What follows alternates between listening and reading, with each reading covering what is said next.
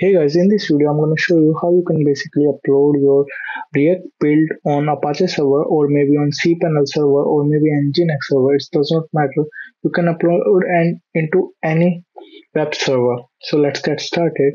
So first you need to add this home page uh, with your domain name. So here my domain name is hitorika.in. So I'm gonna add this one into this one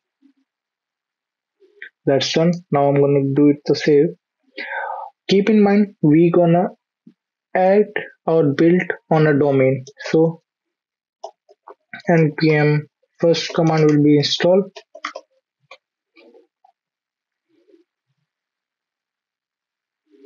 it's done. Then another command is npm build. Npm sorry run build now it's going to create the build file and that build file we need to upload on our server in the web server public html under directory. So let's say we already created this one. This uh, uh, revealing finder. I'm gonna compress this one. And i will go into the file manager.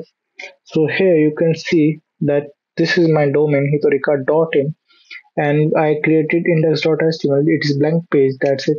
When I open it, it's blank page. Then that means working perfectly. I'm gonna delete, delete that one and uh, upload that file.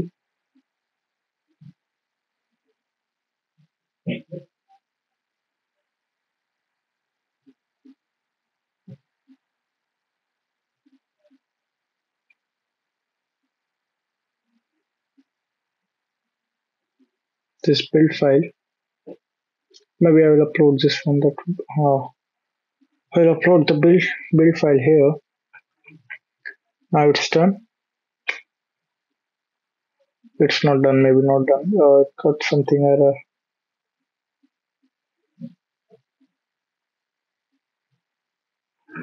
So let's say oh it's done now what I'm going to do I'm going to extract this one here.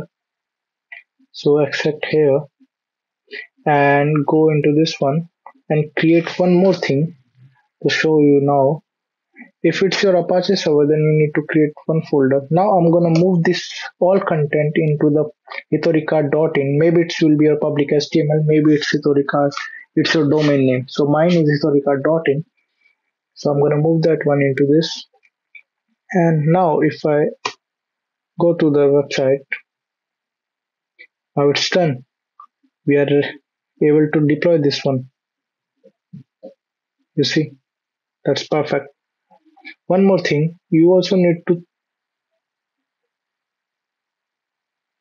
also you need if you don't know you need to add domain before this one is starting to anything. So if I go into the domains I already edit my domain that is hitorika.in if you look into this one. And here you can see the uh, location of my domain. So it's slash slash hitorika.in it's in home mdavr and hitorika.in that's the thing which are important to upload files because if you upload in another directory then it will not able to upload properly. But somehow if you get error and it's not able you can see it. What you can do just create a new file .htaccess create now open that one add it